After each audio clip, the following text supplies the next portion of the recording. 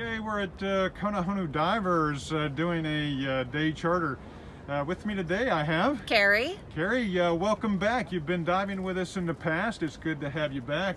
And I understand this trip uh, you've done the day charter with us, you've done our Manta, two tank Manta night dive, and you've done the Blackwater dive. How's uh, your experience with all this been so far? Well, it's been great. You know, this is my third trip with Kona Honu in the past two years.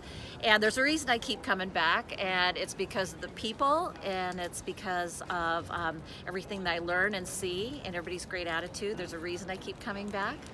Excellent, excellent. Well, we certainly appreciate hearing that. Uh, what's the uh, favorite thing that you've seen underwater so far?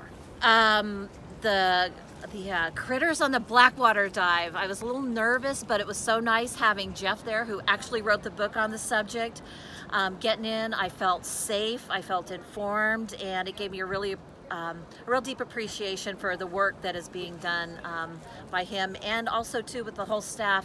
Um, we have fun, but there's a mind for conservation and awareness around um, our marine environment. Well, that's great. Well, uh, thanks so much for uh, coming back and visiting us again, and we look forward to uh, diving with you some more. In July.